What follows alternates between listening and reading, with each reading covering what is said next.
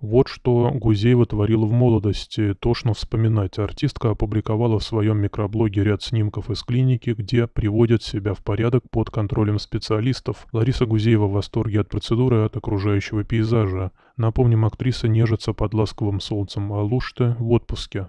Однако скандальный блогер Лена Миро посчитала, что знаменитости стыдно делать в таком возрасте омолаживающие процедуры. С Ларисой Гузеевой случилось страшное. 60-летняя бабуля опубликовала в сторис свой снимок под капельницей, написала Миро в живом журнале. Оказывается, звезда одной роли решила омолодиться, констатировала блогер. Напомним, всю жизнь Гузеева считала себя звездой. Бухала, шаталась, жила то с алкоголиком, то с наркоманами. «Богема», — рассказала Лена о позорном прошлом актрисы.